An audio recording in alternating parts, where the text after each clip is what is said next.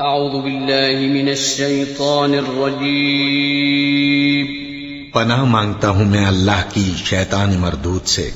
بسم الله الرحمن الرحيم شروع اللہ کا نام لے کر جو بڑا مہربان نہایت رحم والا ہے۔ الحمد لله رب العالمين الرحمن الرحيم مالك يوم الدين. إياك نعبد وإياك نستعين. اهدنا الصراط المستقيم. صراط الذين أنعمت عليهم غير المغضوب عليهم ولا الضالين. آمين.